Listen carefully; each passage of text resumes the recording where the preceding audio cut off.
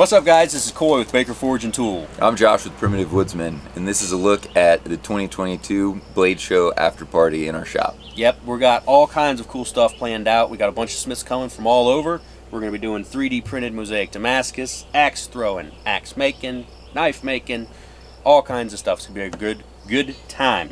Yeah, stay tuned.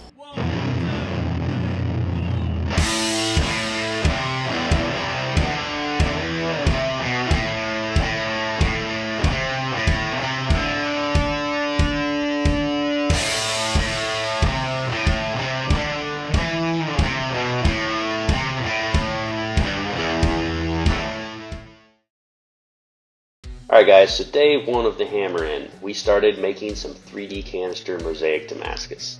Um, you can see the guys here are welding up canisters and filling them up with powder. Um, I had already printed these patterns um, on the 3D printer a couple of days ago in preparation, but uh, here we're just putting it all together.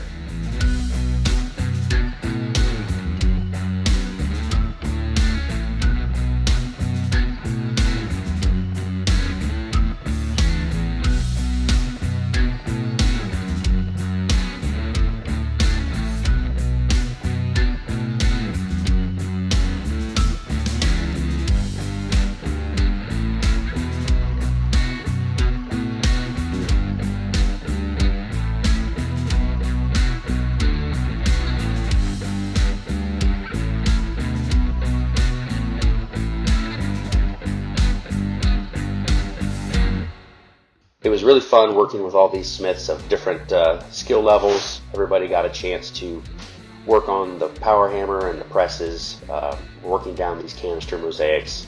Um, it really was a good time.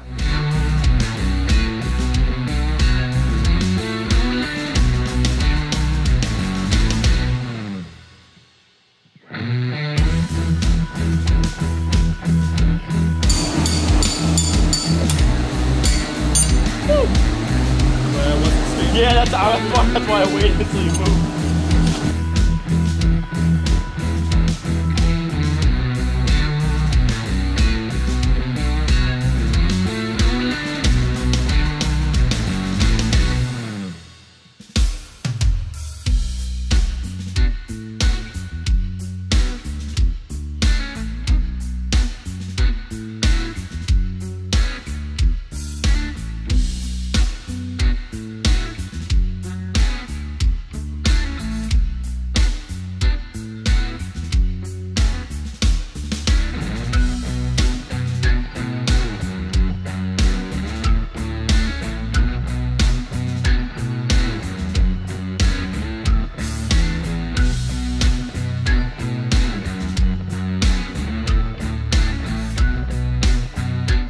we got the canisters rolled down to final dimension, got them perfectly square and trued up, we set the canisters aside to let them cool down and moved into some axe throwing. This was a real hit. We had a whole bunch of axes um, on hand, and everybody loved throwing the axes. It was, it was quite fun. As the evening progressed, we brought in the catered barbecue and everybody chowed down after a long day of forging and preparing to forge well into the night.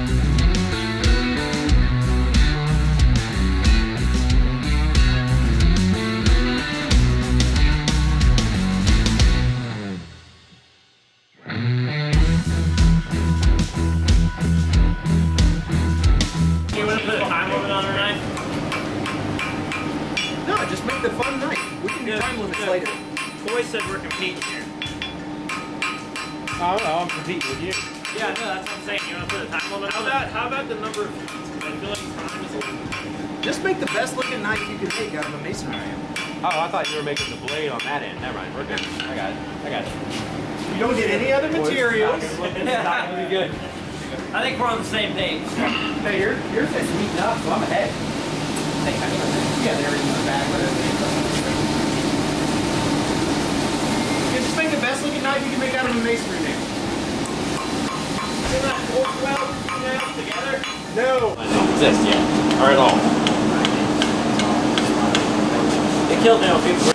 Brenden from Yahalla Forge brought some masonry nails, and we started up a competition to who could forge the best masonry nail knife out of one tiny masonry nail.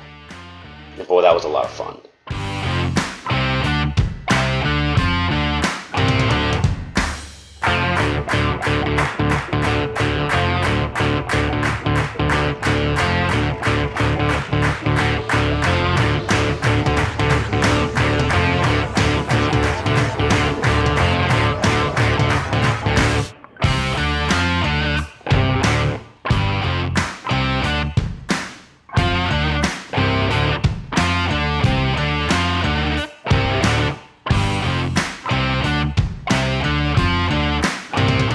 Forging a knife out of a little nail turned out to be quite tricky due to the fact that the heat is absorbed out of those things by that 400 pound anvil fairly quickly.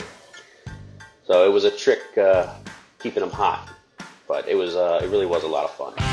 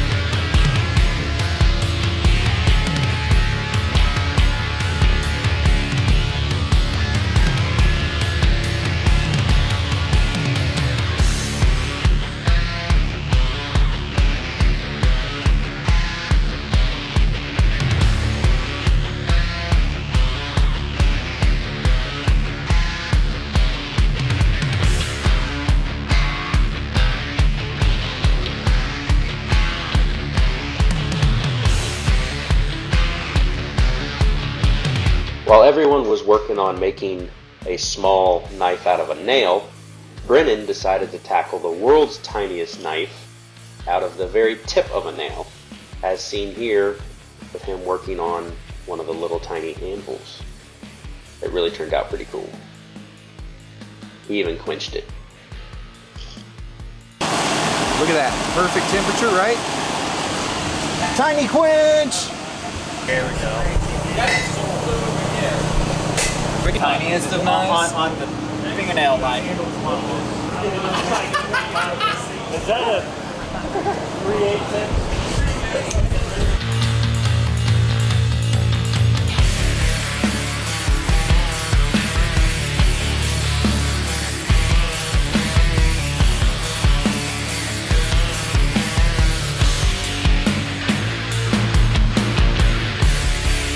As it got later in the evening, people started working on some other projects. Uh, Brenden also picked up some pure silver that he brought with him, and we started to work on laminating that into a billet of Gomai steel, as seen here by Cole on the power hammer. It was a tricky thing to, to work on, but uh, very fun, and it ended up turning out to be a wonderful success.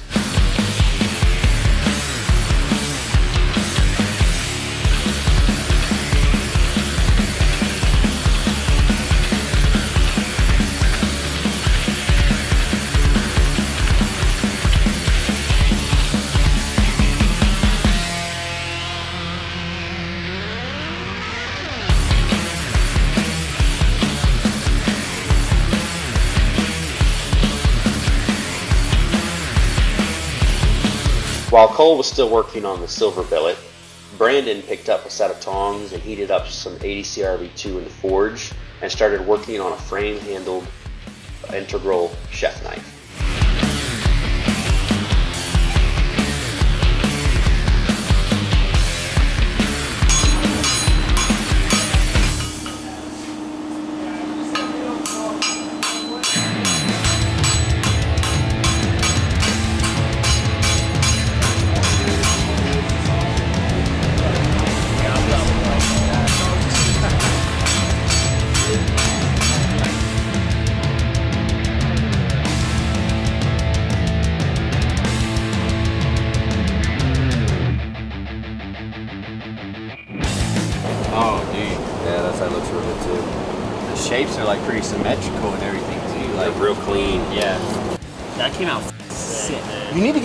That, That was the part one that I of like Mexican bacon. The other one came out well too.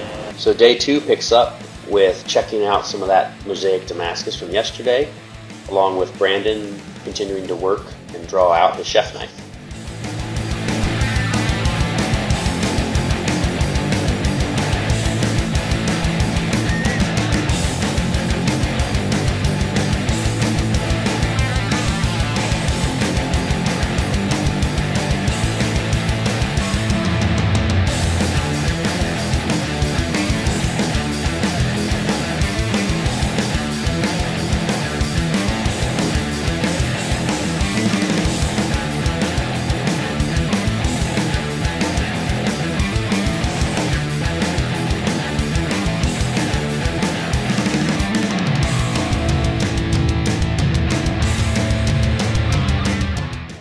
Moved over to the other side of the shop into a different bay where Josh has a forging setup with a forge and an anvil.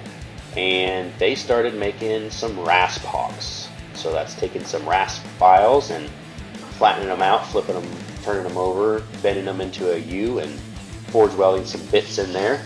Um, they used some Damascus and some Damascus Gomai chunks that we had laying around.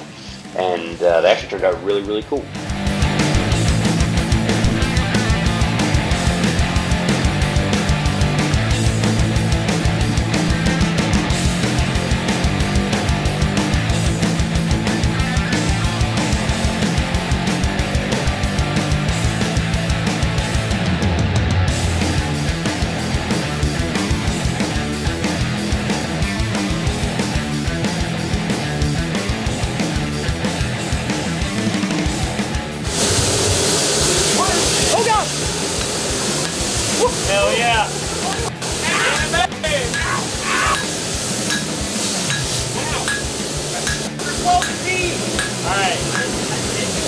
Yeah, flip it. Let's hit it again on the other side. It went right down the crack of my...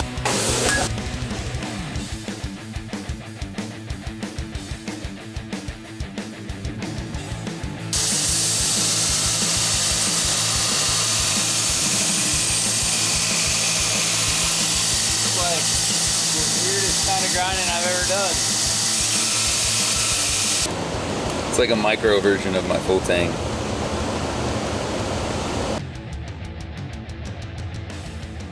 During this time, Brenden also jumped on the silver billet and started to make a beautiful sax knife out of it.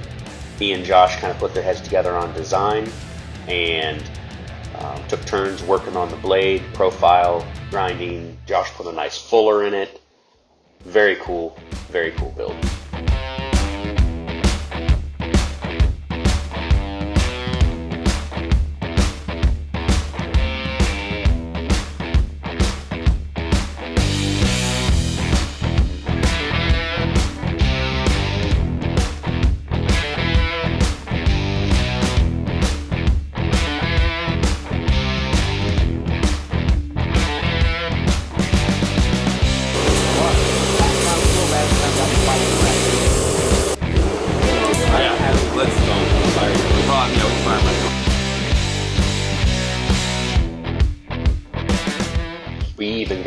The silver billet heat treated, which was super cool to watch. Um, it's hard to capture on video just how white that silver is compared to, like, say, nickel. Um, nickel is much more yellow compared to pure silver, and the pure silver just stood out like crazy. Almost a bluish white tinge to it.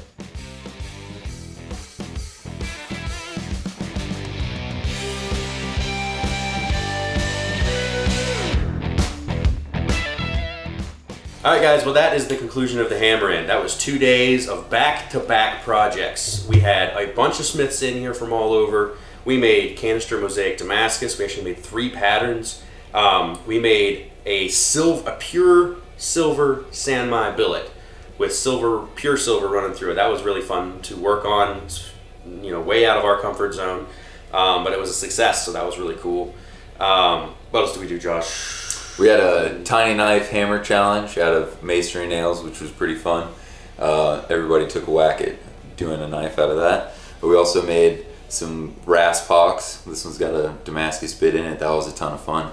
Um, lots of throwing and stuff uh, in this one already. Um, yeah, Yeah. good food, good times, good hanging out.